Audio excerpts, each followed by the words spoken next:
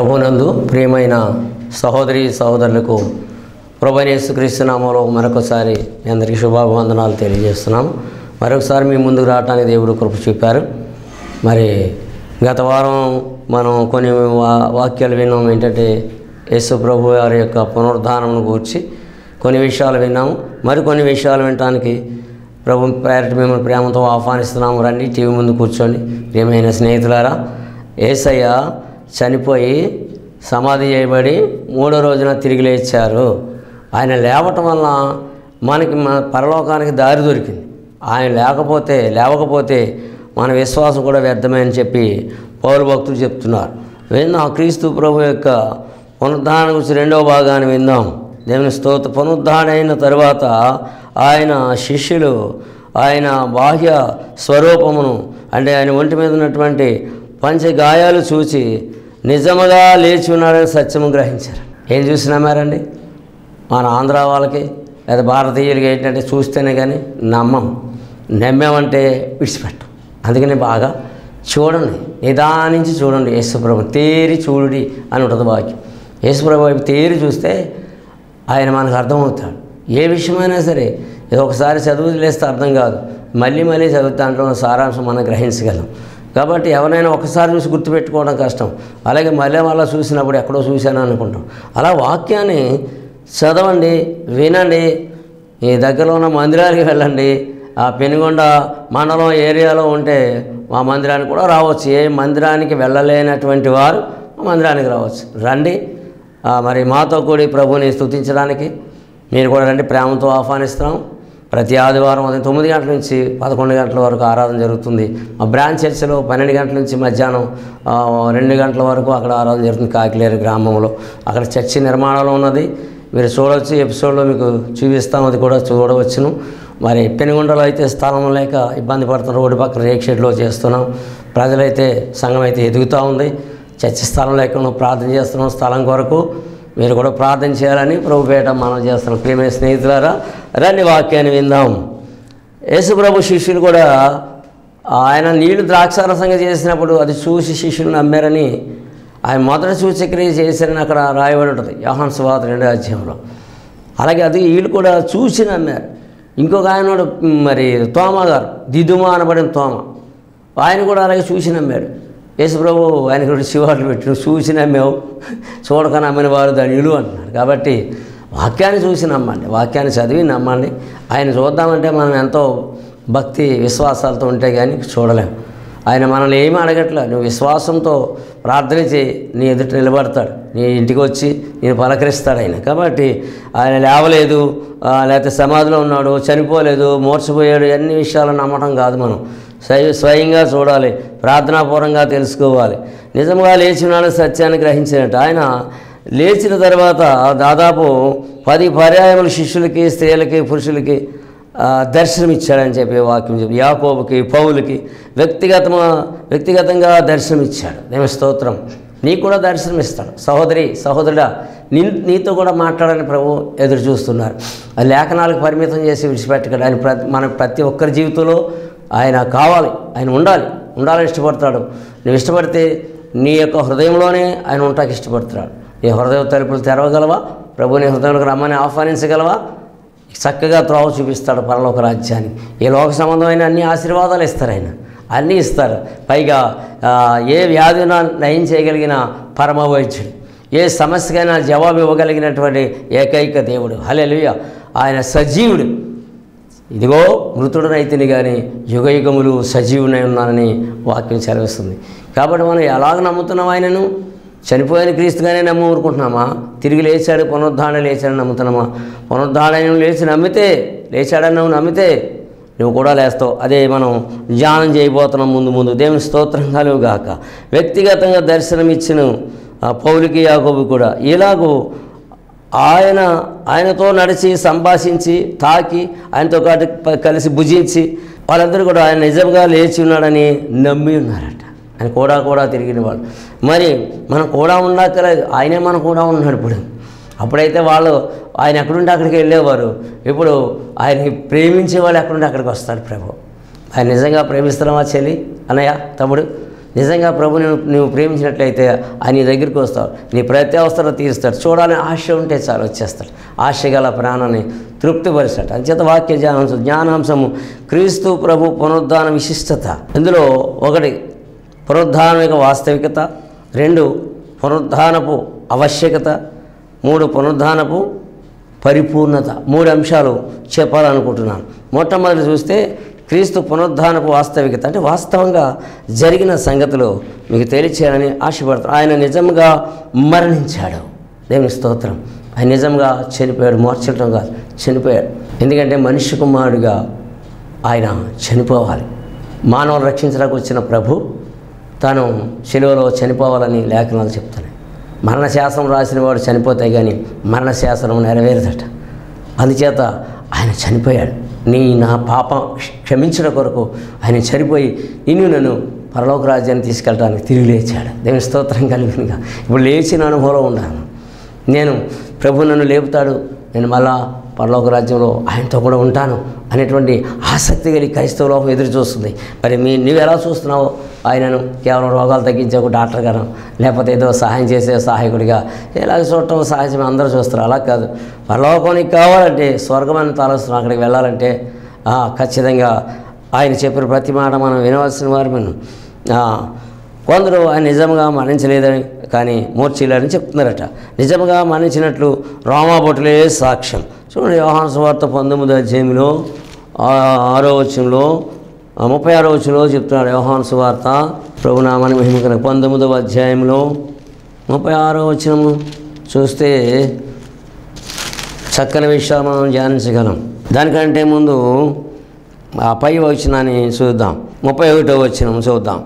పంతొమ్మిదో అధ్యాయం యోహాను సువార్త ముప్పై ఒకటో వచ్చిన ఆ దినము సిద్ధపరిచే దినము మరుసటి విశ్రాంతి దినము మహాదినము కనుక ఆ దేహములు విశ్రాంతి దినమున శిలువ మీద ఉండకున్నట్లు వారి కాళ్ళు విరగగొట్టించి వారి శిలువ తీసివేయించమని యూదులు పిలాతును అడిగిరి. కాబట్టి సైనికులు వచ్చి ఆయనతో కూడా సిలువ వేయబడిన మొదటి వాని కాళ్ళను రెండవ వాని కాళ్ళను విరగొట్టిరి వారు యేసు వద్దకు వచ్చి అంతకుముందు ఆయన మృతి పొంది ఉంటాడో చూచి ఆయన కాళ్ళు విరగొట్టలేదు ఎందుకో తెలిసిన అక్కడ రాయబడి ఉన్నది ముప్పై ఆరో వచ్చిన ఇప్పుడు చదువుదాం. అతని ఎముకలలో ఒకటైనను విరవబడదు. అను లేఖనము నెరవేరినట్లు ఇది జరిగాను. నేను శిలువ మీద వేలాడిన వాళ్ళని? సిలివేసిన తర్వాత మరి పొద్దుగూకే సమయంలో కాళ్ళు చేతులు నరికేస్తారు. అటువైపు ఇటువైపు సిలువైపడిన దొంగలిద్దరి కాళ్ళు తెగ నరికారు. మరి యేసుప్రభు దగ్గరికి వచ్చి చూసేటడికి ఆయన చనిపోయి ఉన్నాడు. ఆయన కాళ్ళు తగ్గట్లేదు. కారణం ఏంటో తెలుసా? లేఖనం ఇలా చెప్తుంది. లేఖనం ఏం చెప్తుంది అతని ఎముకలలో మళ్ళీ చెప్తాను రెఫరెన్స్ చూడండి. యోహాన్ సువార్త పంతొమ్మిది అధ్యాయం ముప్పై ఆరో వచనం. అతని ఎముకలలో ఒకటైనను విరవబడదు అను లేఖనం నెరవేరినట్లు ఇది జరిగింది. ఆ లేఖనం నెరవేరనంటే ఈ కాళ్ళు నరకటానికి వేయలేదు ఏమనుకుంటున్నారు యేసుప్రభు అంటే? ఆయన సజీవుడు ఆయన దైవ కుమారుడు మోక్షప్రదాత ఆయన నమ్మవలసిన వారమై ఉన్నాం. అంచేత చాలా జాగ్రత్తగా వాక్యాన్ని మీరు వినాలని ప్రభు పేరిట మనవి చేస్తూ ఉన్నాను. హల్లెలూయా. క్రీస్తు ప్రభు శత్రువులే ఇలా సాక్ష్యమిస్తున్నారు. ఏం సాక్ష్యమిస్తున్నారు? లోకాసు వార్త ఇరవై మూడు అధ్యాయం యాభై రెండు యాభై మూడు వచ్చిన. లోకాసు వార్త ఇరవై మూడు అధ్యాయంలోకి వెళ్దాం. ఇరవై మూడు అధ్యాయము తొందరపడద్దు కానీ తీయండి వాక్యము. ఇరవై మూడు అధ్యాయము యాభై రెండు నుంచి యాభై మూడు వరకు.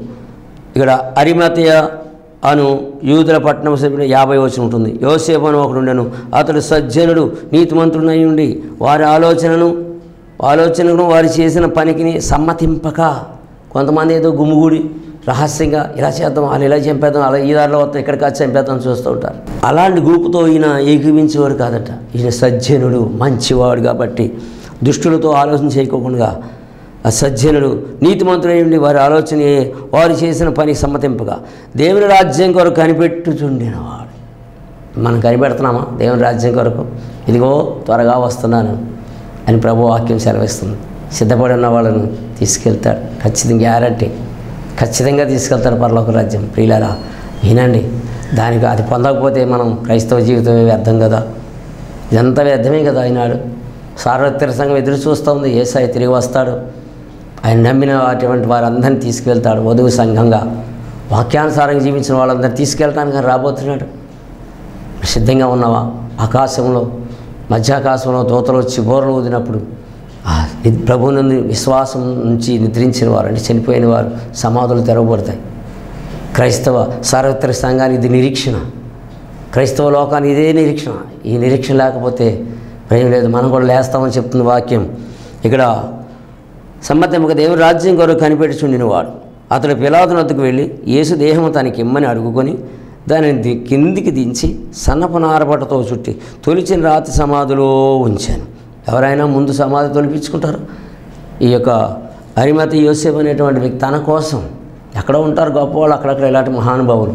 ముందుగానే సమాధి తవ్వించారు రాతిలో తన కోసం తర్వాత ఎవరైనా పట్టించుకుంటారో పట్టించుకోరో అను అనుకున్నాడో ఏమనుకోడో ధనవంతుడు పైగా తన కోసం ప్రత్యేకంగా రాతిలో ఒక సమాధి తొలిపించుకున్నాడట. యశ్వరావు జీవితాన్ని పరిశీలన చేసినప్పుడు అన్ని ప్రత్యేకమైనవి జరిగాయి ఆయనకి. ఆలోచన చేస్తున్నారా? ఆయన జన్మ ప్రత్యేకం. ఆయన పుట్టినట్టుగా కన్య గర్భాన ఎవడో పుట్టలేదు. ఒకవేళ పుట్టినా ఏదో పాపం వల్ల పుట్టుంటారు. వాళ్ళు ఈ లెక్కలోకి రారు. ఈయన పరిశుద్ధుడు పరిశుద్ధురాలు గర్భాన పుట్టాడు. దేవుని స్తోత్రం. కన్య అయిన మరీ గర్భాన పుట్టినటువంటి ప్రభు ఆయన జన్మలో పరిశుద్ధత ఉన్నది. జీవితంలో కూడా ఎక్కడ కూడా పాపము చేయలేదు. పరిశుద్ధుడు. చిన్నతనం నుంచి ఆయన బోధించడం మొదలుపెట్టాడు. పరిశుద్ధుడు. పండితుల్ని శాస్త్రవేత్తల్ని వాదించాడు ఆయన. ఎరుసలేం మందిరంలోకి వెళ్ళి.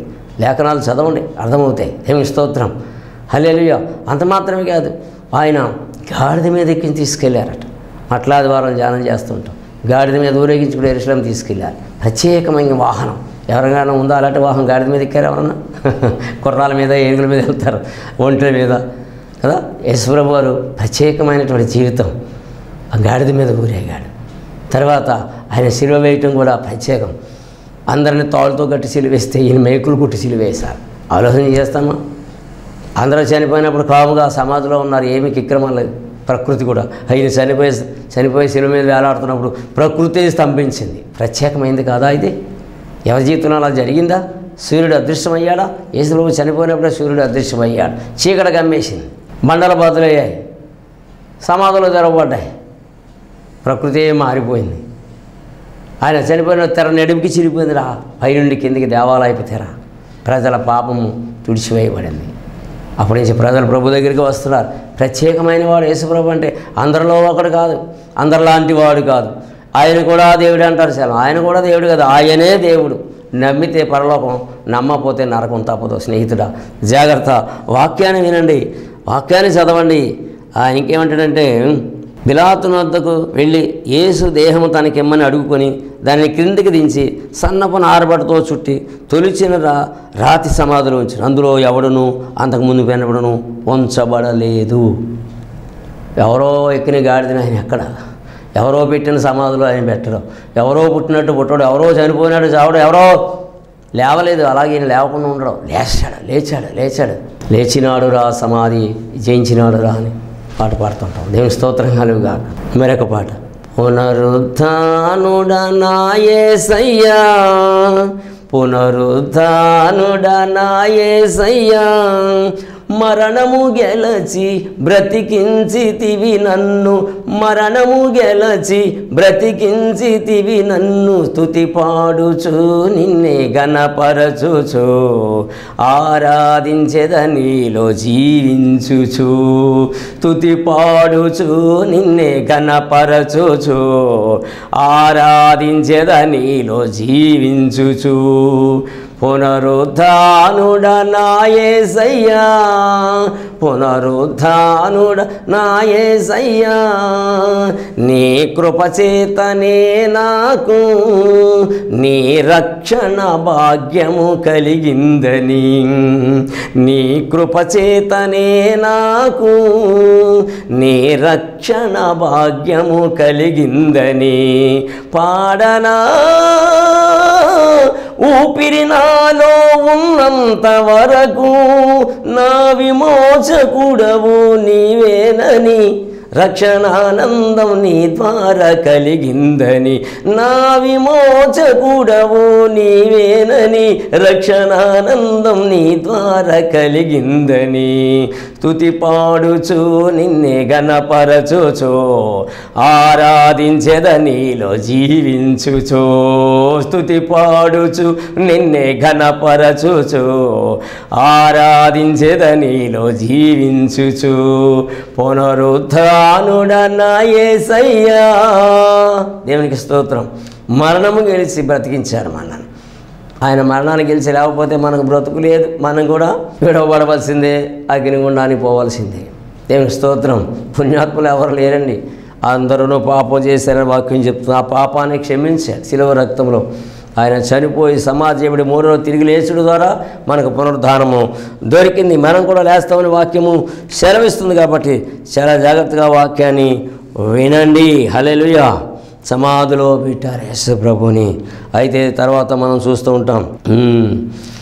క్రీస్తు ప్రభు శత్రువులు ఇలాగ సాక్ష్యమిస్తున్నట్టు ఆయన చనిపోలేదని చెప్పుట క్రీస్తు ప్రభు శి- శత్రువులే ఇలాగ సాక్ష్యమిస్తుంటే రోమాపటులే ఉంటే ఆయన చనిపోలేదని చెప్పడం నిజంగా హాస్యాస్పదం కదా.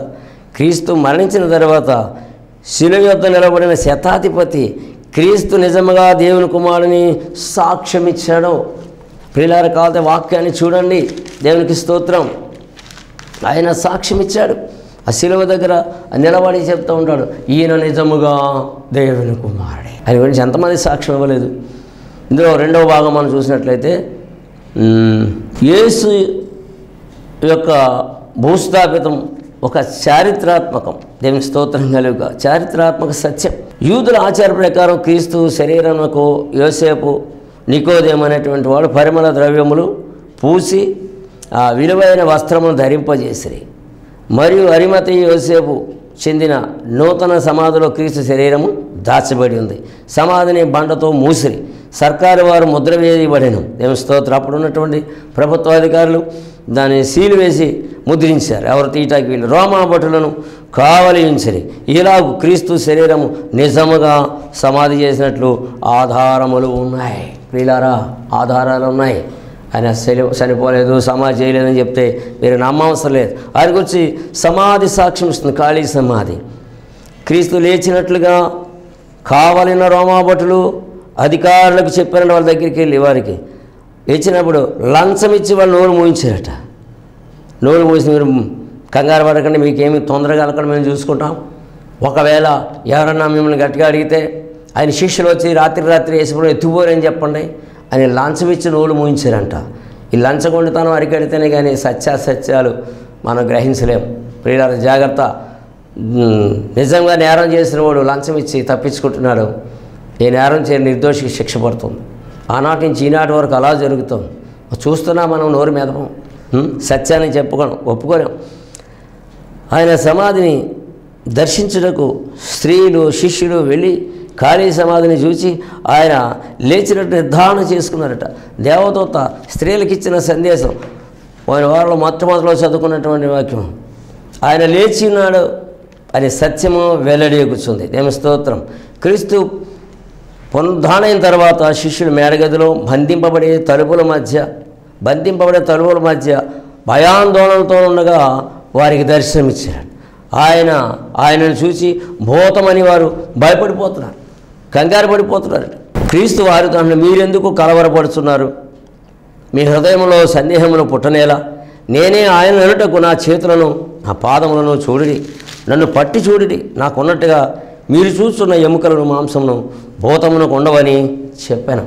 చూడండి లోకాసువార్తో ఇరవై నాలుగు అధ్యాయంలో ముప్పై ఎనిమిది ముప్పై తొమ్మిది వచనాలు ఈ మాటలు స్పష్టంగా ఉన్నాయి. దేని స్తోత్రం కలుగుగాక. హలేలుయ ఏమన్నాడు ఆయన? వారు ఇలాగ మాట్లాడుకొచ్చుడుగా ఆయన వారి మధ్య నిలిచి మీకు సమాధానం అవునుగాక ముప్పై ఆరో వచనం. లోకాసు వార్త ఇరవై నాలుగు ముప్పై ఆరు చదువుతున్నాం. వారు ఎలాగ మాట్లాడుకొనిచుండగా ఆయన వారి మధ్య నిలిచి మీకు సమాధానం అవునుగాక అని వారితో నేను తిరిగి లేచిన తర్వాత ఈయన మాట్లాడుతున్నాడు మహిమ శరీరంతో వచ్చి మాట్లాడుతున్న సందర్భం ఇది. అయితే వారు నిలో దిగులు పడి భయాక్రాంతులై భూతము తమ కనబడినని తలచరి. అప్పుడు ఆయన అంటున్నాడు మీరెందుకు కలవరపడుతున్నారు? ముప్పై ఎనిమిదో వచనంలో. మీ హృదయంలో సందేహములు పుట్టనేలా నేనే ఆయనను అనుటకు నా చేతులను పాదములను చూడుడే. తన చేతులు చూపిస్తున్నాడు గాయాలు. పక్కలో బల్యం పొడిచారు పొడిచి పొడిచారు కదా అది చూపిస్తున్నాడు. కాళ్ళలోన గాయాలు చూపిస్తున్నాడు ప్రభు. నన్ను పట్టి చూడుడి. నాకున్నట్టుగా మీరు చూసిన ఎముకలు మాంసం భూతమును కొండవని చెప్పాను. తన చేతులను పాదం వారికి చూపిన. అయితే వారు సంతోషం చేత ఇంకనూ నమ్మక ఆశ్చర్యపడుచుండగా ఆయన ఇక్కడ మీ వద్ద ఏమైనా ఆహారం కలదా అని వారిని అడిగాను. వారు కాల్చిన చేప ముక్కను ఆయనకి ఇచ్చిరి. ఆయన దాన్ని తీసుకుని వారి ఎదుట భుజించాను అప్పుడు వారికి నమ్మకం కలిగింది. ఏమండి? చూస్తేనే కానీ నమ్మమంట మన భారతీయులు. పోనీ అలా ఉండటం మంచిదే. గుడ్డిగా నమ్మమని చెప్పట్లే. సత్యాన్ని కూడా నమ్మకపోతే ఇంకెక్కడుంటాం? మన పరిస్థితి మనం ఎక్కడ ఉండబోతున్నాం చాలా జాగ్రత్తగా మీరు వాక్యాన్ని వినాలని మీకు మనం చేస్తే దేవదూత క్రీస్తు మహిమ శరీరుడై వారికి దర్శనమిచ్చాను. ఆయన శరీరము కదులుచు మాట్లాడుచు మహిమ కలిగి మార్చబడిన వ్యక్తిత్వము కలిగి ఉండెను. ఇట్టి వ్యక్తిత్వమును సమాధి బంధింపలేకపోయాను. దేవుని స్తోత్రం కలుగుగాక హల్లెలుయ. సమాధి ఆయనను బంధించడం అసాధ్యం. మరణం ఆయన బంధించడం అసాధ్యం అని వాక్యం చెప్తుంది. మరణం ఆయన బంధించడం అసాధ్యం. ఆయన ఈలాగూ ఆయనను మహిమా శరీరుడై లేచెను. దేవి స్తోత్రం. వాస్తవమును బైబిల్ నొక్కి ఒక్కరిస్తుంది ఆయన మహిమ శరీరుడై లేచాడు అని. నమ్మకపోతే ఇక మరి ఎవరు ఏం చేయలేము నమ్మిన వారికి ఈ గొప్ప సువార్త.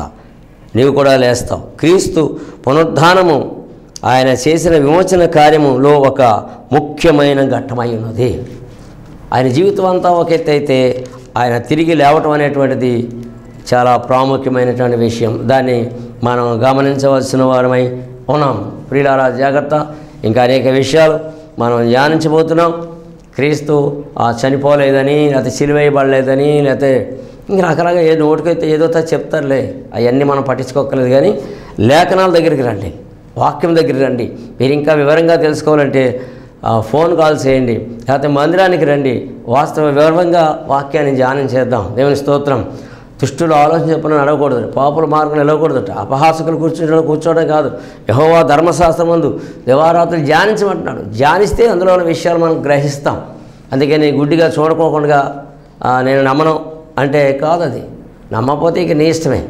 కానీ నేను నమ్మమని ఎవరు బలవంతం చేయట్లేదు. నమ్మితే స్వర్ స్వర్గం లేక పరలోకంలో ఉంటావు. నమ్మకపోతే మాత్రం ఖచ్చితంగా నరకము తప్పదు. ఎవరైనా సరే. జమీందారు కావని పేదవాడు కావని అడుక్కునేవాడు కానీ ఎవరైనా సరే కులమాత భేదం వాళ్ళకి చోటు లేదు అక్కడ. ఎవరైనా నమ్మిన వారు నమ్మితేనే దేవుని మహిమ చూస్తారు. వారు పరలోక రాజ్యంలో ఉంటారు. కాబట్టి ఈ వాక్యము దేవుడు దీవించునుగాక. మరి కొన్ని విషయాలు మరి విషయాల్లో మనం ధ్యానం చేద్దాం ప్రియులారా. మీరు వ్రాస్తున్న ఉత్తరాలను బట్టి మేము ఎంతగానో ఆనందిస్తున్నాము. మీ కొరకు ప్రార్థన చేసి మా సంఘం మంచి ప్రార్థనా పనులు ఉన్నారని ప్రార్థన చేసేవాళ్ళు మా సంఘంలో. సంఘం చిన్నదే కానీ చాలా గొప్ప సంఘం అని వాళ్ళే చెప్తారు. ఎందుకంటే వాళ్ళు చేస్తున్నారు ప్రార్థన ఏం చేయటం కాదు. సేవకులు చేస్తే గొప్పతనం జరగడం కాదు. యేసు ప్రభు చేస్తే జరగడం కాదు. ఆయన శిష్యులు చేశారు. పాస్టర్ గారు చేస్తే గొప్ప కార్యం జరగడం కాదు. అయ్యగారు చేశారని అయ్యగారిని ఎత్తి మీద ఎట్టుకోవద్దు సంఘం చేయాలి. కొత్త నిబంధనలో ప్రతి విశ్వాసి యాజకుడే. ఇది మాత్రం గుర్తించండి. కొత్త నిబంధనలో ఎవరైతే నమ్మి బాప్సం పొందారో వారందరూ సేవ చేయవలసిన వారే. ఏదో విధంగా ఆయన సేవ చేయాలి. అంచేత అందరూ వారు నమ్ముతున్నారు. ప్రార్థన చేస్తున్నారు. అద్భుతాలు జరుగుతున్నాయి. ఆశ్చర్యకారాలు జరుగుతున్నాయి. మీరు రండి. చూద్దరిగాని సంఘానికి. ప్రతి ఆదివారం ఉదయకాలం తొమ్మిది గంటల నుంచి పదకొండు గంటల వరకు ఆరాధన జరుగుతుంది. ప్రతి శుక్రవారం ఇది వేసవకాలం కాబట్టి సాయంకాలం ఎనిమిది గంటల నుంచి పది గంటల వరకు జరుగుతుంది. ఇంకా ఆల్ నైట్ పేరు కూడా జరుగుతుంది రేపు మొదటి శుక్రవారం మార్చబడిన మొదటి శుక్రవారం ఆరాధన జరుగుతున్నది. అది ఆల్ నైట్ పేరు జరుగుతున్నది రండి రేపు శుక్రవారం. దేవుని స్తోత్రం కలుగుగాక. హలేలుయ మే నెలలో మొదటి శుక్రవారం ఆల్ నైట్ పేరు జరుగుతున్నది. తైలాభిషేకం జరుగుతుంది. తైలంతో మిమ్మల్ని అభిషేకించడం జరుగుతుంది. ఇది డబ్బులు పెట్టి చేసేది కాదు ఇది. అన్ని సహవాసాలు అది కాదు ఇది. మేము తైలం ఇస్తాం రండి అభిషేకిస్తాం రండి సీసా బాటిల్ కొనుక్కోండి అని చెప్పడం లేదు ఖర్చు కొనుక్కోమని చెప్పట్లేదు కానీ వాస్తవంగా ఉచితంగా పొందితే ఉచితంగా ఇవ్వమని వాక్యం చెప్తుంది కాబట్టి ఉచితంగానే ఇవ్వబడుతుంది. రండి మీకు ఉచితంగా అభిషేకం చేయబడుతుంది. ఆ తైలాభిషేకం ప్రార్థన ఎప్పుడో కనుక్కొని వివరంగా ఫోన్ కాల్ చేసి తెలుసుకుని రండి. ఎలా రావాలో వివరంగా చెప్తాం. దేవుడి వాక్యం దీవించుగాక. మా కొరకు యొక్క పరిచర్య కొరకు ప్రార్థన చేస్తున్నారు కాదు ప్రార్థన చేయాలని మనం చేస్తున్నాను ప్రార్థన చేసుకుందాం. సకల ఆశీర్వాదాలకు కారణభూతుడు సర్వశక్తి సంపన్నమైన దేవా వందనాలు. నాయన మా యొక్క మోక్ష మార్గం ఛానల్ వారిని దీవించి ఇక్కడ వాక్యం అందించడానికి నాయన ఈ వాక్యం టెలికాస్ట్ చేయడానికి మాకు ఇక్కడ ఈ ద్వారం తెరిచినందుకు స్తోత్రాలు చెల్లిస్తున్నాం. నాయన నాయన మీకు వందనాలు చేస్తున్నటువంటి యొక్క సువార్త వృధాగా పోకూడదు. నాయన అనేక మంది వినాలి. చూడాలి ఆ టైంకి ఆ టీవీ పెట్టుకుని వాక్యం విని వారు వారికి ఉన్న అవసరాలు తెలియజేయటానికి రోగులైతే ప్రార్థన చేయించుకోవడానికి కూడా సహాయం చేయండి. ఏ అవసరతలో ఉన్నవారు ప్రార్థన ఫోన్ చేసి ప్రార్థన చేయించుకోవడానికి సహాయం చేయండి. నడిపించండి సంఘానికి. మరి ప్రతి నెల రెండో మంగళవారం ప్రార్థన జరుగుతున్న పగటి కాలం ఉదయకాలం ఎనిమిది గంటల నుంచి పదకొండు గంటల వరకు. కాబట్టి ఆ వీలైన వారందరూ ఇక రెండవ మంగళవారం నెలలో రెండవ మంగళవారానికి రావటానికి సహాయం చేసి ప్రేరేపించండి. మోక్ష మార్గం ఛానల్ వారు దీవించండి. ఈ వారం స్పాన్సర్ చేసిన కుటుంబమును ప్రభా మీరు అత్యధికంగా దీవించండి. వారు మళ్ళీ మళ్ళీ రావాలి. మీరు దీవిస్తే వాళ్ళు మళ్ళీ మళ్ళీ వస్తారు. నేను ఇంకా సాక్షి నేను ఇంకా స్పాన్సర్ చేయాలని వస్తారు. కాబట్టి అలాగా నడిపించుకుంటామని నమ్ముతున్నాను. రేపు సువార్త ఆగిపోకుండా ఇది కొనసాగటకు సహాయం చేయండి. అయ్యా మా దగ్గర డబ్బులని ప్రారంభించలేదు. ప్రేరేపించావు ప్రజలు ఇస్తున్నారు. కొంత గొప్ప దాన్ని బట్టి ముందుకెళ్తా ఉంది ఇంకా ముందుకు తీసుకెళ్ళటానికి మాకు. సహాయం చేయండి. మీరే మహిమ పొందమని మా రెండు సంఘాలకు నీ చేతికి అప్పగిస్తున్నాం. అక్కడ జరుగుతున్న పరిచర్య నిర్మాణంలో ఉన్న మందిరాన్ని నాయన ఆయన దీవించి ఆశీర్వదించండి. ఏ సునామను ప్రార్థించి వేడుకుంటున్నాం తండ్రి. ఆమెన్. తండ్రి కుమార పరిశుద్ధాత్మ దేవుని సంధి మనందరికీ తోడై ఉండును గాక ఆమెన్. ఆమెన్.